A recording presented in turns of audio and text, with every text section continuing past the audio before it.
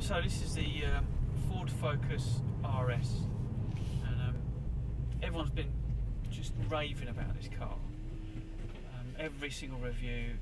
The only people, the only thing that they say that's wrong with it is the fact that you got quite a lot of torque steer. What, what, what do you think of it in your limited experience I so far? absolutely adore this car. I did the launch when it came out in the south of France, across the Route Napoleon, famous Alpine Pass. I just think it's one of the finest front-wheel drive sports cars I have ever driven. And I'm sorry, but I'm going to wax on about this thing. Wax on, Wax on, that's fine. Wax on, wax off. wax on, wax into Wax of- lyrical We've about gone, this car. We've gone early Karate Kid, haven't we? We have, yeah, Karate Kid 1. But Yeah. I, I think this car is absolutely fantastic. Yeah. I love it. I, I don't really agree about the torque steer as well. There is a bit of it when you really give it the full beans. It's yeah. front wheel drive. You feel a tiny bit of tugging, but you know, if you've driven the first one, which I haven't, but I've driven Yeah. other stupidly powerful front wheel drive. I don't mind um, a bit of tugging though. I've heard that.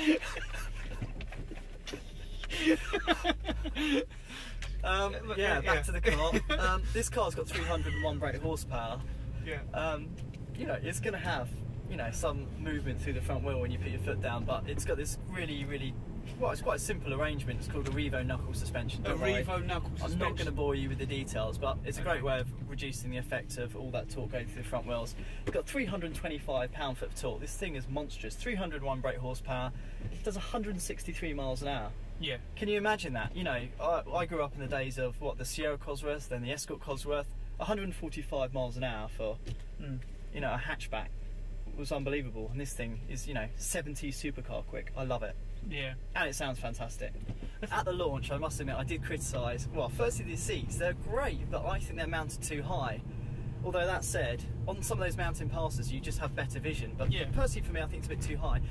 And the other thing, which I feel a bit guilty about criticising, is this interior.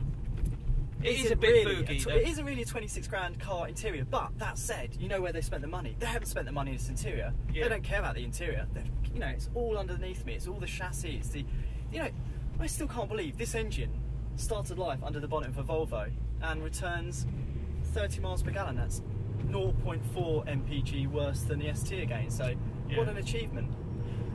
And this is that's this segues almost like we've rehearsed this and we haven't Mm. into the, this story that's that's happened this week with this. There's this journalist. Um, I don't know him, but I'm sure he's around. Uh, automotive writer Jeremy Walton achieved on some kind of fuel run, economy run, um, 38 miles per gallon in a Ford Focus RS. Oh, can you imagine how much agony that must be How- to drive one of these around? What a waste of a Bored, lifetime. yeah. Jeremy said, and I quote, and hope you're out there, Jeremy, watching. Uh, this is the fastest RS road car yet, but also the most efficient. This shows that with a bit of restraint, you can use an efficient, high performance car in daily driving without enormous fuel bills. If you want an efficient car, buy a diesel. End of story. Yeah, that's right. There's no point in doing that. So that's that, that's just Jeremy. This is for you.